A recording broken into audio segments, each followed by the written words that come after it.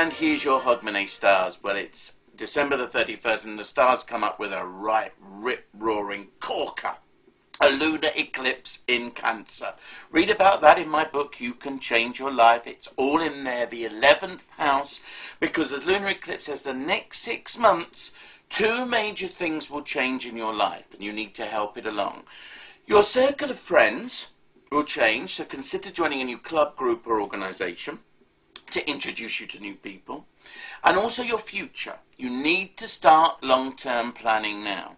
If you want to change your job, if you want to go and live somewhere new, if you want to alter your whole lifestyle, the planning starts now, even if you don't go until your birthday. But you need to know that as one door shuts, and you need to help it shut, another one will open.